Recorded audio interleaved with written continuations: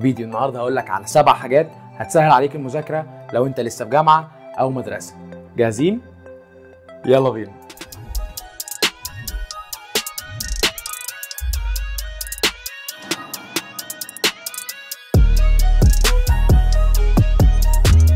أهلا بيكم يا جماعة معاكم lifestyle doctor مكاوي والقناة دي معمولة مخصوص عشان تتكلم عن المشاكل اللي بتواجهنا سواء في صحتنا شكلنا عاداتنا كل يوم وازاي نواجهها عشان نبان في احسن صورة وننجز في شغلنا وننجح في حياتنا. يلا اعمل subscribe ودوس على زر الجرس عشان ما يفوتكش جديد كل أسبوع. يلا بينا نتكلم في موضوع النهارده. المذاكرة. المذاكرة.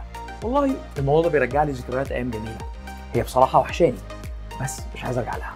قبل ما أكون lifestyle doctor مكاوي أنا أصلا مهندس مدني خريج جامعة عين شمس. ولو ده مش واصل لك معناه إيه أنا كنت الأول على مدرستي معظم أيام الثانوية. أيام جميلة والله. فمع ان شكلي ما يديش بس أنا nerd قديم. بس ما تقلقش أنا من ال nerd الطيب. أو الوسيم.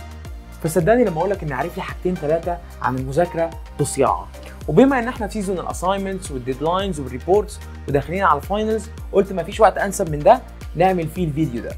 النهارده هستدعي ال nerd اللي جوايا من تاني. وهقول لك على الحاجة القديمة اللي كنت بعملها. سبع حاجات هتخليك تستدي smart not hard يلا بينا. أول حاجة جيب من الآخر. هنستعمل طريقة ال reverse engineering يعني إيه؟ يعني هنذاكر عشان نحل مش بالضرورة عشان نفهم. أيوه يعني عندنا final أو assignment دلوقتي. نعمل إيه؟ هتجيب assignment ات وامتحانات قديمة محلولة وتبص هي اتحلت إزاي. وتبتدي تذاكر على أساس إنك تفهم concept الحل وإزاي تطبقه. مش بالضرورة عشان تفهم concept الموضوع ككل. concept الموضوع ككل كان عندنا الترم كله عشان نفهمه وما لحقناش. دلوقتي إحنا مفيش وقت. عايزين نحل وبس. تاني حاجة ال bullet points analysis. قسم الموضوع لنقط. وأنت بتذاكر تحاول تقسم الموضوع لنقط رئيسية واحد اتنين تلاتة ده هيسهل عليك إنك تفهمه وتحفظه وتعرف تفتكره أسرع.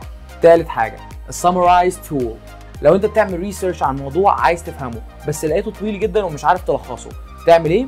تعمل copy لل text بتاع الموضوع كله وتفتح جوجل تكتب online summarize tool هتختار أول option عندك بعد كده تعمل paste لل text اللي انت عملت له copy وتكتب النقط الأساسية ال key words اللي انت عايزه يلخص الموضوع حواليها. ودوس زرار summarize يا معلم. إيه اللي هيحصل؟ هيطلع لك output الموضوع متلخص حوالين ال key words اللي انت دخلتها.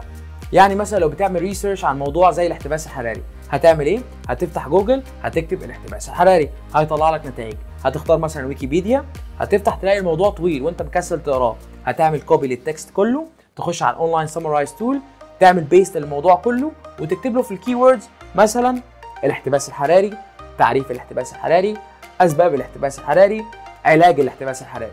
تمام؟ هتعمل summarize هيطلع لك الموضوع متلخص حوالين ال key words اللي انت دخلتها. وصلت؟ رابع حاجة Google Scholar لو عندك report المفروض تسلمه أو presentation المفروض تعرضه وقاعد بتحضر الدنيا عندك في البيت وبتعمل ال research بتاعك هتعمل إيه؟ هتفكك بقى خالص من جوجل وتيجي معايا على Google Scholar. طب هو إيه الفرق؟ Google Scholar هيطلع لك نتائج certified مثبته علميا ما فيهاش خلاف. أحسن بمليون مرة من جوجل العادي اللي ممكن يطلع نتائج من أماكن زي ويكيبيديا أو مقالات محدش عارف لها أساس من الصحة والخطأ. الموضوع ده بالذات هيخليك تفرق عن كل اللي معاك وتبان إنك فاهم أنت بتعمل إيه. ويبقى دليل على ال A plus اللي أنت هتاخدها. خامس حاجة اسمع اللي أنت كتبته. لو عندك presentation المفروض تقدمها بعد ما تخلص كتابتها اعمل copy and paste على Google Translate ودوس زرار listen.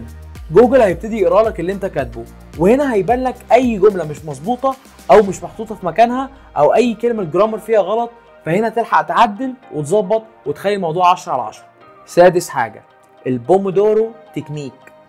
شغل 25 دقيقة break 10 دقايق.